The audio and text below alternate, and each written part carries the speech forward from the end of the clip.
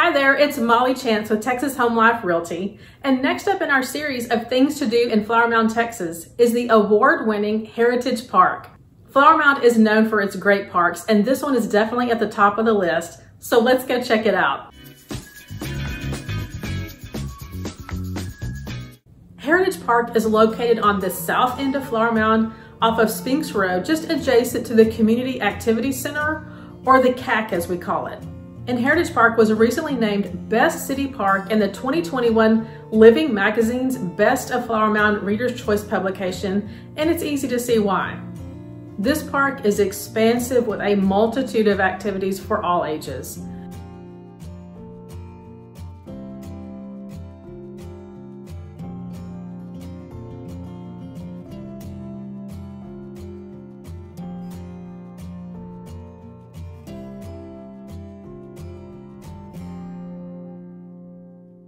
The focal point is the Heritage Springs Splash Pad, which is a covered 2,000 square foot splash pad opened from May through September.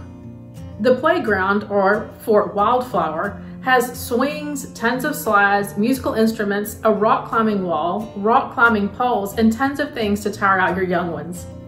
The Bluebonnet Trail and Wildflower Encounter Nature Trail are great for walks and also to provide some learning experiences for the kids. A large pavilion is also available for rental, along with public restrooms if you're planning on staying for a while. One of my favorite features is the boardwalk over the pond with the scenic waterfall. There are lots of picnic tables around, which makes it a great place to have a picnic or just to take a break. And if you're looking for more activity, the park also has a disc golf course. I hope you found this tour of Heritage Park in Flower Mound helpful.